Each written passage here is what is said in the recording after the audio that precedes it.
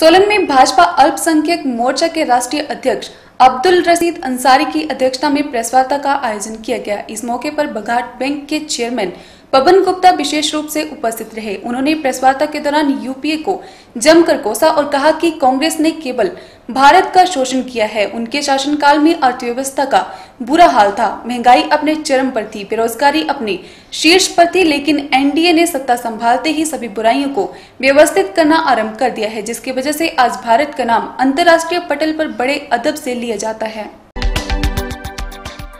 सोलन में भाजपा अल्पसंख्यक मोर्चा के राष्ट्रीय अध्यक्ष अब्दुल रसीद अंसारी की अध्यक्षता में प्रेस वार्ता का आयोजन किया गया। इस मौके पर बघाट बैंक के चेयरमैन पवन गुप्ता विशेष रूप से उपस्थित रहे। उन्होंने प्रेस वार्ता के दौरान यूपीए को जमकर कोसा और कहा कि कांग्रेस ने केवल भारत का शोषण किया है। उनके शासनकाल में अर्थव्यवस्था का बुरा हाल था। महँगाई अपनी चरम पर थी। बेरोजगारी अपने शीर्ष पर थी, लेकिन एनडीए ने सत्ता संभालते ही सभी बुराइयों को व्यवस्थित करना आरंभ कर दिया है, जिसके वजह से आज भारत का नाम अंतर्राष्ट्रीय पटल पर बड़े यदब से लिया जाता है।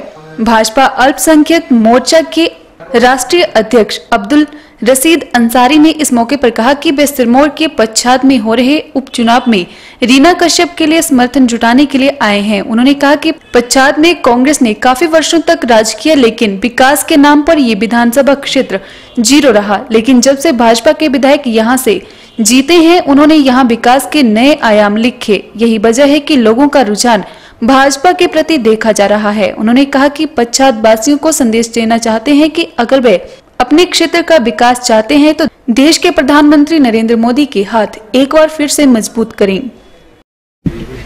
हिमाचल प्रदेश के इस असेंबली वार्ड में जो ये उपचुनाव हो रहा है, उसमें हम लोग भारतीय जनता पार्टी की कैंडिडेट की हिमायत के लिए आए। हम क्षेत्रवासियों को ख़ास तौर से ये देवभूमि है। यहाँ की जनता को ये बताना चाहते हैं, बल्कि याद दिलाना चाहते हैं कि ये क्षेत्र बरसों पिछड़ा रहा है और इसके विकास का जो कुछ भी काम हुआ है, वो भारतीय जनता पार्टी की सरकारों के और उसके विधायकों के हाथों हुआ है। और आज इस विकास को, की गति को और तेज करना है।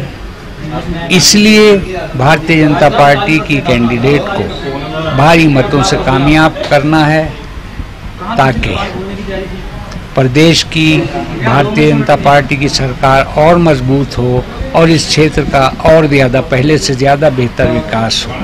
आपको याद होगा कि पिछले मौक़ों पर भारतीय जनता पार्टी के जो विधायक रहे थे, उनसे पहले जो लोग रहे थे उन लोगों ने अपनी सत्ता तो मज़बूत करी होगी, मगर क्षेत्रवासियों के विकास की तरफ़ ध्यान नहीं दिया था, उनकी सुविधाओं की तरफ़ ध्यान नहीं दिया था। आज यहाँ पूरा देश आगे बढ़ रहा है, तरक्की कर रहा है तो हिमाचल के लोग ख़ास तौर से इस रीजन के लोग, क्यों पिछड़े रहें?